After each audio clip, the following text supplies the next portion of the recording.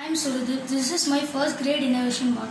I have made a tractor which is consisted of four contact sensor, one Arduino UNO, a shield, battery case, motor driver, a switch, a hoe, a servo motor, one IR sensor, four wheels, four motors. The hoe is used to cut the uncultivated crops which is, which is known as weeds which grow along the crops. The IR sensor is used to make it straight, make it uh, straight above, which in which uh, the controller can move aside and do other duties. It can also be can also it also does not disturb the plants. The four contact sensors are used to move the car, move the tractor, move the tractor.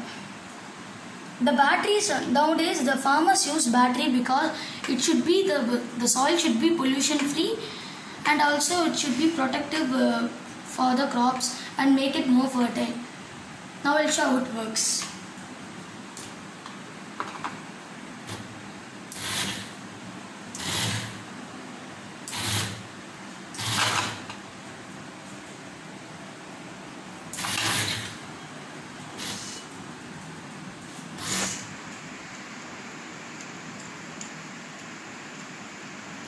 The farmers use the you can use the tractor and it is pollution free.